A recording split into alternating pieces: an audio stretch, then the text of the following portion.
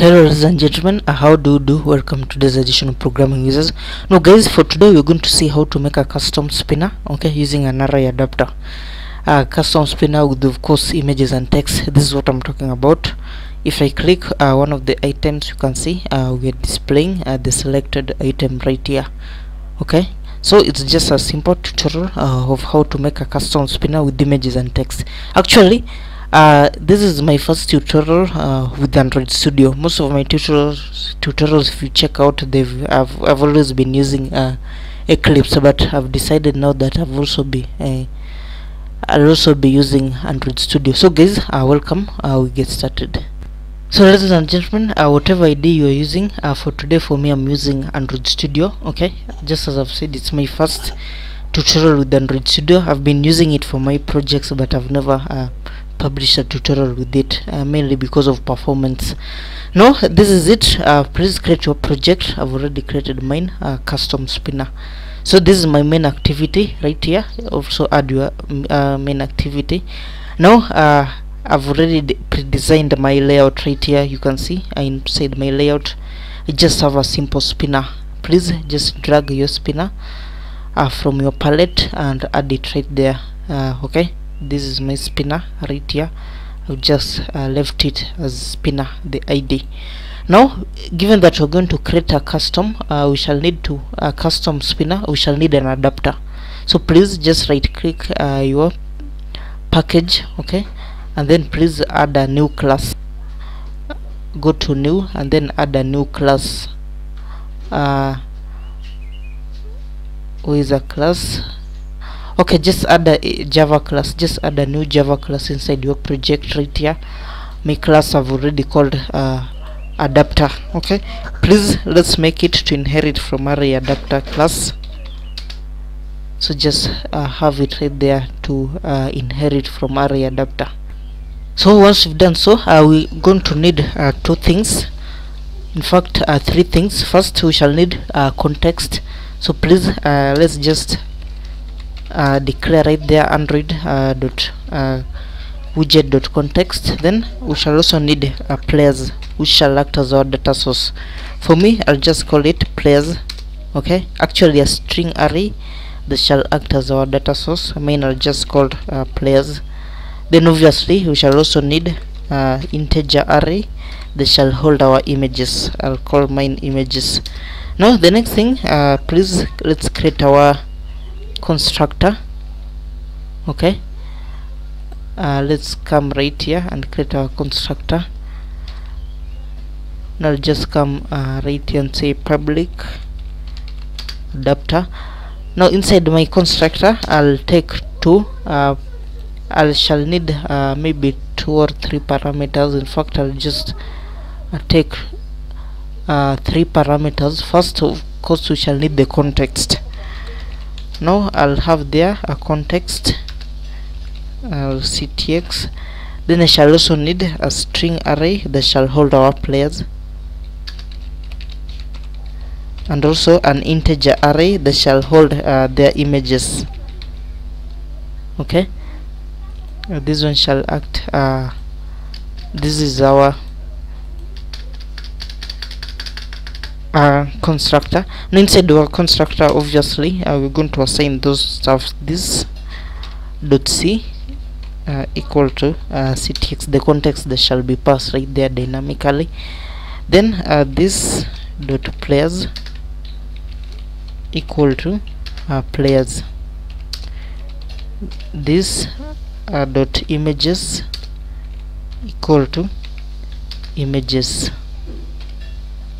uh, that guys shall act as our constructor but remember this is an array adapter uh, we've inherited from our array adapter and we want to use uh, spinner okay? Now the first thing uh, the first method that we're going to override we're going to override the get drop down view. So come right here and say get drop down view so that we uh, override. Obviously you can see shall return for us a view object so apart from this one we shall also need to override our uh, get view method. So come right here we also override a get view. That shall also return for us uh, a view object. I'm still seeing an error right here. I don't know what is the matter. Okay uh, right here we need to call our super. So let's just come right here call super uh, we didn't call it. Now super. Uh, right here we're going to pass uh, the context. And then guys we shall also need the layout okay? So I'll pass uh, my model layout. Actually I've uh, given that we want to do a custom spinner we're going to create a simple layout okay? A simple layout that shall act as the model for a single particular row uh, for our spinner. Mine I've just created I've called it a model. I'll show it to you in a short while. So we shall need to pass it right there inside our super. And then we shall also need to pass our data. Okay which for me uh, is just the players. So right here this one should be model r dot layout dot model then players. Okay so that's it. Uh, I'll just have said we shall override these two methods get drop down view and get view and actually we we're just going to be uh, returning uh, view object. Now the very first thing that we're going to do uh, right here take note that the convert view a view object is passed right there. So the first thing we're going to check if it is null. If convert view equal to null if that is the case then we're going to inflate uh, out model okay and then assign it to that particular view to do that one. Let's you're going to use our layout inflator. So layout inflator I'll just call it inflator equal to C. C is our context object uh, dot get system service. Then right there we shall uh, pass context dot layout inflator service. Then obviously we cast it to uh, layout inflator. Okay? So this one shall give us uh, an inflator a layout inflator object that we're going to use. So this one right here we're just going to uh, cast it to a layout inflator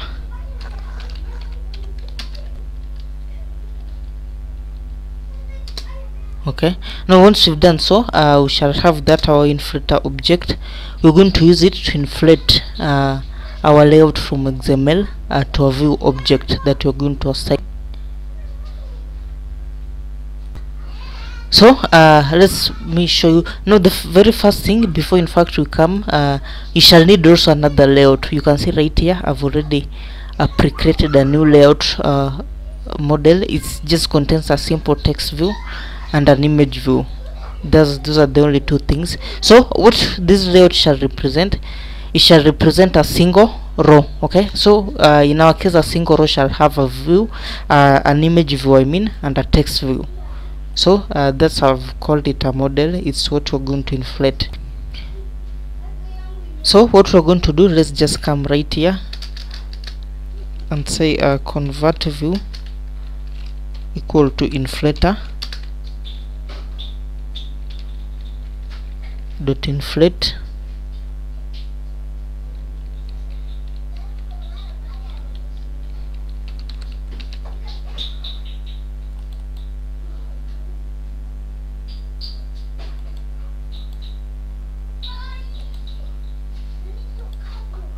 inflator dot inflate. Now what is this right here? Inflator dot inflate uh, right here okay? Then uh, we shall be passing first our layout model. So come and say r dot layout dot model. Mine of course I call the model and then right here we just pass our null. So this one guys shall give us a convert view okay that shall be representing uh, the whole row a particular row for our spinner. What we're going to do is simple. We're going to return this particular convert view. So when the uh, get drop down view is called we return our convert view uh, right there. Okay? Convert view. Okay? So but also uh, we also shall also need to adjust uh, set text to set our text and image uh, to a particular text view and of course image view. So the first thing we instantiate a text view text view I'll just call it name TV now we're going to use convert view our view uh, to find it. So uh, dot find view by id then r dot id dot uh, name tv obviously uh, after this one we just cast it uh, to image to text view. We shall do the same to our image view. I'll call it image equal to uh, convert view dot find view by id okay? Dot find view by id then r dot id image view then obviously uh, once more we cast uh, this one uh, to image view. So uh, we cast it to image view. But obviously after doing that one we need to set uh, its data okay? So uh, set data. Now to set data first we shall start with the name tv so name tv dot set text now uh, for our text we are simply going to uh, return. In fact we have our players uh, which is our array players. And then uh, as our index we just pass the position. Sorry. We just pass the position right there and also we do the same to our image view. No sorry image dot set image resource then right there we're going to pass our images. Our images array and then uh, we pass of course also the position. Okay? So those ones shall, shall set our data to uh, right there. Then guys uh, the next thing that we're going to need to do uh, we shall also need uh, to do the same uh, inside our get view okay? So I'll just come right here. In fact what you can do you can simply create a simple a simple method that you can call when the get drop down view and get uh, view me uh, methods are called okay? So in fact uh, let's just come and do that one. No I'll just uh, copy paste this one. Let's just copy paste this one and bring it right here but obviously it would have been a better uh, like if you just create a simple method uh, that contains all these ones and then now you just call a method when uh, both both of those two particular uh, methods uh, are called. So guys that's it. Uh, that's our adapter. Now uh, the next thing that we come and do we come and deal with our main uh, activity. The first thing we have to declare our spinner. So right there we're going to have our spinner I'll just call main sp we shall also need uh, to declare our data source okay? Now for me my data source shall just, just be simple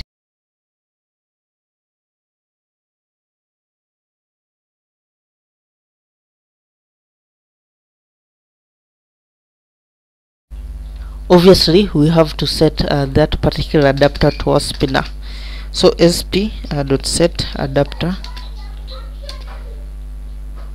Uh, then right there we pass adapter. Okay that shall set uh, the adapter to our spinner.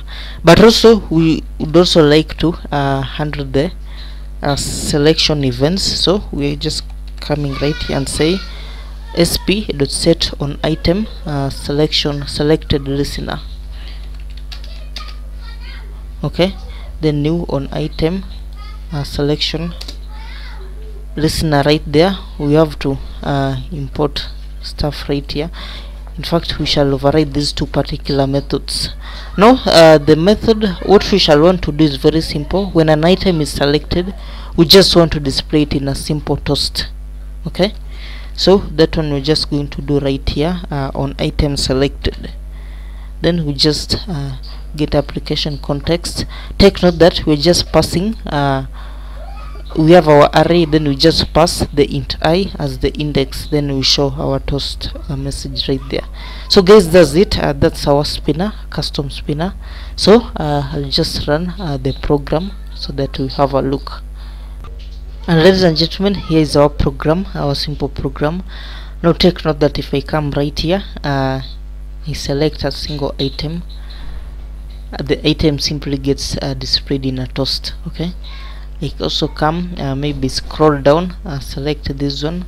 You can see the name of the item gets displayed in a toast. It's been a very simple tutorial okay? Actually my first tutorial with Android Studio. Uh, I have so many tutorials with Eclipse but this has been the first one with Android Studio. So guys uh, if you love the tutorial. Just subscribe. Uh, hit this subscribe subscribe button below like this video share it with friends and family comment would really like to hear from you guys?